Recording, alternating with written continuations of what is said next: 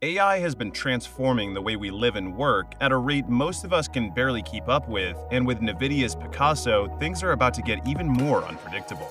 The release of ChatGPT triggered the most recent wave in the global tech revolution, and with all the crazy changes that this unleashed in almost every industry, many of us were left wondering how soon the next big transformation in the world of AI would come to reshape our lives again. Well, that change is now upon us, and there's no turning back. Watch until the end to find out just how much NVIDIA's Picasso is going to change the way you work, and how you can use it to make the parts of your life that were once tedious and time-consuming a total breeze. Even though a big part of the things we can do with AI have now been made available to anyone with access to a computer or even a smartphone, there's still one thing that has been keeping the average person from being able to use the true potential of AI in daily life processing power. Even teaching a computer to play tic-tac-toe can take forever if all that's available is a basic processor and a few gigabytes of RAM, but NVIDIA has invented an amazing solution to this problem.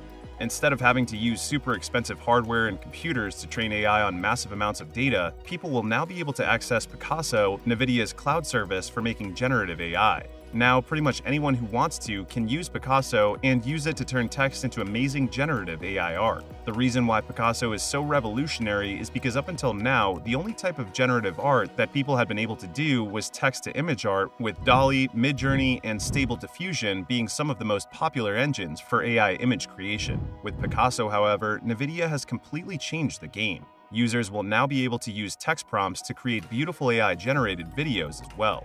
Now, text to video with AI is not a completely new concept in itself, but Picasso is about to take it to the next level. Right now, the average user can go online and find free text to video AI tools, but the results are rarely too attractive to look at and they can take forever to generate. With Picasso, we will have access through the cloud to the most cutting edge computers that will do that work for us so our computers don't have to, and just based off of NVIDIA's keynote, the results are absolutely stunning. The quality of the videos generated with a relatively simple text prompt is very, very very high, and that's only the first iteration. With more detailed prompts, Picasso's models will probably make videos with a quality that we're only used to seeing in movies. In fact, NVIDIA has been releasing sneak peeks of the progress they have been making on their text-to-video AI models, and it's impressive to see just how much ground the company has covered in such little time. After seeing this type of progress, making entire movies based off of text prompts doesn't seem impossible anymore. The other really cool thing that Picasso will be able to do is text to 3D.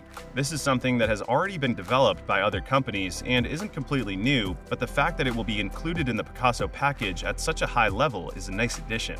The applications of text to 3D are limitless as it allows companies and users to create everything from a realistic bust of a person all the way to the highest quality architectural models. Even with text to 3D, which was already something that a lot of other companies had developed before Picasso, NVIDIA took it to the next level with a feature they call the Omniverse. The Omniverse is a real-time 3D collaboration platform which will allow users to create the most amazing and realistic 3D worlds in real time, much like we use Google Docs or Canva to collaborate online now. The videos that NVIDIA has released on all the things that will be available for designers and content creators with the Omniverse have gotten many people's hopes up because there simply isn't anything like it on the market and it is an absolute game changer. One of the most important topics that are being brought up since the announcement of Picasso is licensing. Since AI started to gain traction and especially generative art, copyright has been the word on everyone's mind and for good reason. With generative art, the line between collaboration and theft is very thin and there really hasn't been any real regulation passed on the ethical use of images and videos for AI training purposes.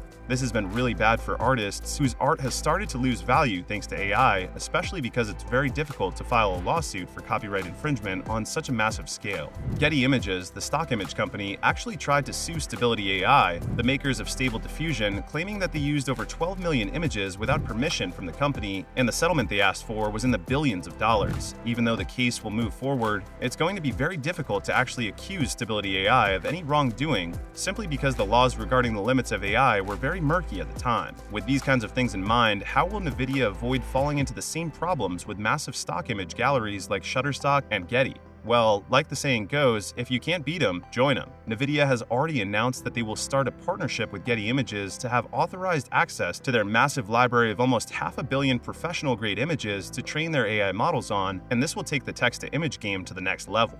If other platforms like Stable Diffusion only had access to around 12 million images, imagine what's possible with 500 million images. The quality that users will get from something like Picasso is unbelievable. Creating 3D models from scratch used to be very time-consuming and difficult, but now NVIDIA will also partner up with Shutterstock to train a machine learning platform for custom 3D models. The amount of time that this will shave off for 3D modelers and designers is absolutely crazy, and we can't even begin to imagine how much more efficient architects, designers, and 3D modelers will become with these tools. NVIDIA and Shutterstock didn't forget about the artists who even made those images possible, and they made it an option to opt out of having one's art used for AI training purposes, and they will also pay the artists who decide to allow their art to be used for training purposes.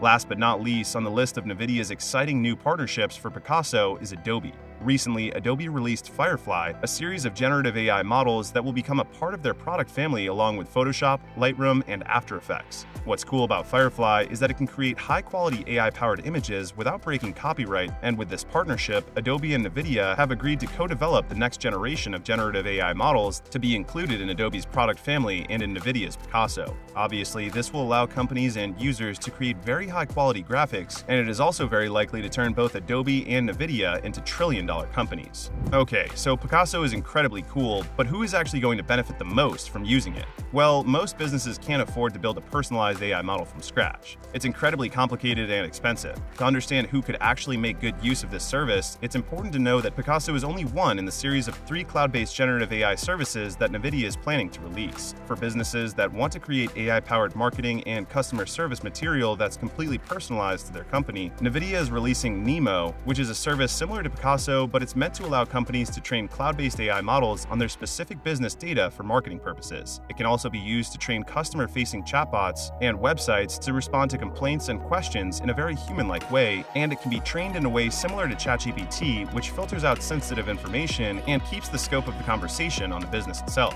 The focus of Picasso is mostly artistic, and as we mentioned before, it will allow companies to create text-to-image, text-to-video, and text-to-3D art, renders, and complex models. It will be especially useful for software developers and businesses that want to create art using licensed images for whatever purpose. If you're curious about generative AI art, check out this video to learn just how much can be done with these kinds of models.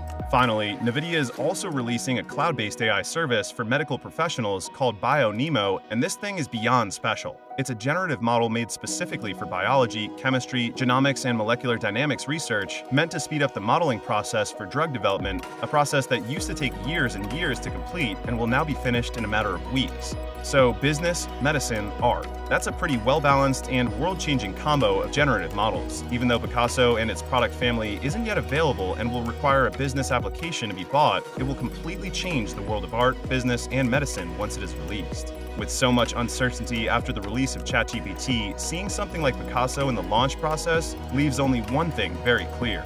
The way we work and live is changing at an incredibly rapid pace, and the world we once considered normal is quickly getting left behind in the wake of the AI revolution.